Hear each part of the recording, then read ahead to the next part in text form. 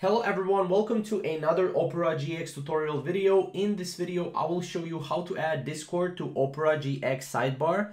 Now, if you take a look at the left, left side right here, we can see that we don't actually have a Discord icon right here. We can actually go here, we can connect with you know music apps and stuff like that, but we don't have uh, a Discord app right here. So what you will need to do is you will need to go here to Opera browser, settings, from settings, you will need to actually go and scroll down. You can also change the themes as well here, but what we were what we are basically looking at here is we're looking at one thing and that is sidebar. Here is manage sidebar, so click manage sidebar.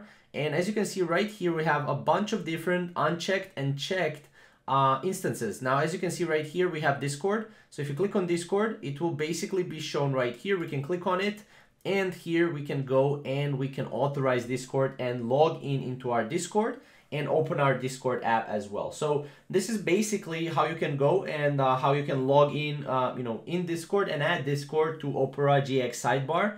Now again, if you don't have Discord, you can also log out right here. But if you don't have Discord, then just click here and that's pretty much it. You can also add a bunch of different uh, TikTok, you know, VK, Telegram, WhatsApp. You have a bunch of different things that you can add right here. So uh, thank you guys for watching. Subscribe for more and we'll see you in the next video.